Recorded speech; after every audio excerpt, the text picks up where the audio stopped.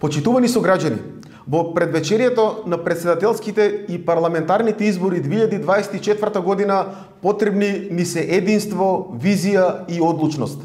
Нашата историја е исполнета со примери на одлучни луѓе кои станаа водичи во времињата на најголеми предизвици.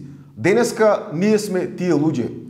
Посакуваните промени нема да се случат сами од себе, а ниту конзервацијата на вистинските вредности е известна без влогот на секој поединец. Затоа да излеземе и да гласаме за промени.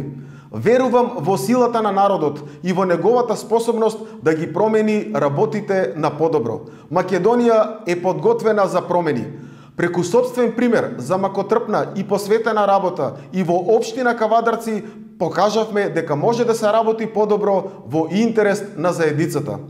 Гласајте на 24 април за професор доктор Гордана Силјановска Давкова, подреден број 2 за председател на Република Македонија.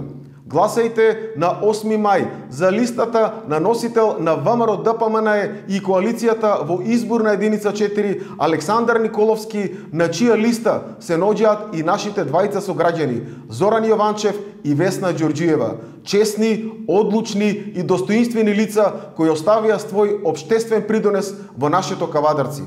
Кавадарци е спремно за победа, да ја вратиме гордоста на нашата држава. Македонија повторно горда.